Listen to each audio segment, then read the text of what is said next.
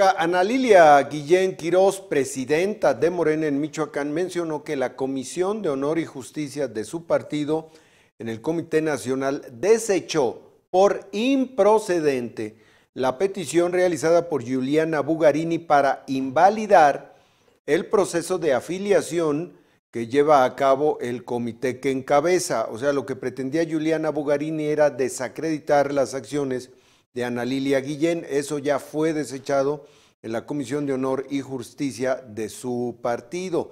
Dice que quieren convertir a Morena en Michoacán en un partido de Estado y que todo lo que han estado recibiendo es guerra sucia. Es Ana Lilia Guillén.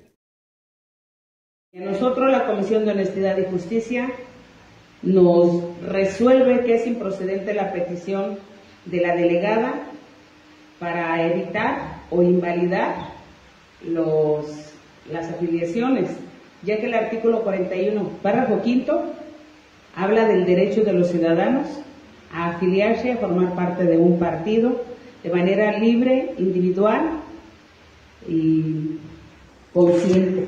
Entonces, tenemos esa, esa buena nueva, porque aparte de tener la intención de hacer un partido de Estado, pues parece que no, no va a ser funcional.